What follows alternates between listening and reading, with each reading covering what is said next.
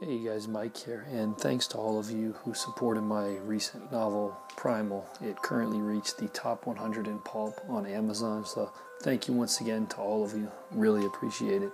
Could we one day bring back a full size Titanoboa? I believe the easy answer to that, the scientific answer, is basically no. But if we think really creative and outside of the box, it might be possible.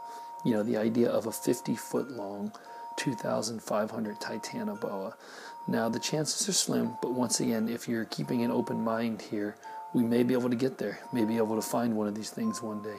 In doing research for my next novel, it appears that given the right conditions, meaning extreme humidity with warmth, coupled with plenty of water and a lot of food, things can grow really, really big.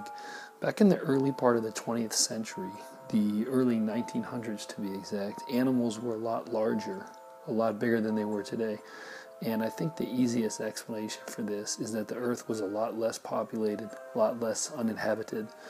Wild meant truly wild, and things grew a lot larger. And being that the world was less inhabited and built up, these things had a chance to grow huge and pass on their gigantic genes to their offspring. Take sharks, for example. There were some absolute monsters discovered back in the early 1900s. So there's a lot of evidence that points to this, that things were a lot larger back then. Now, the simple fact is that animals had space to spread out, vast amounts of room, and this allowed them to grow huge. Which brings us back to the idea of Titanoboa once again inhabiting the earth. And while it may seem unrealistic and straight out of the pages of Jurassic Park, I, for one, don't necessarily think it's impossible. Once again, if we keep an open mind. To grow huge, you need an overabundance of food and water, plenty of space upon which to grow and pass on your genes to your offspring. Now, think back to the idea of humans and the ever expanding and encroaching fact that we build homes and we have constantly been exerting pressure on nature. So, right there, we have been taking away plenty of space for animals to spread out.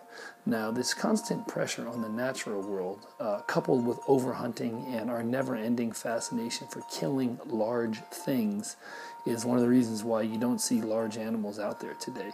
But in doing research for my current novel, what if there was a place, a biosphere to be exact, a place where nature coupled with the absolute perfect environmental conditions had been left intact for a very, very long time, let's say a hundred years. What about the possibilities then if all these conditions were in place? Food, water, plenty of humidity, space, and secrecy for a large animal to grow huge. What about the possibility of a massive 40 to 50 foot long snake being created and living? It may not be a titanoboa, but you may be able to get a large python to that size.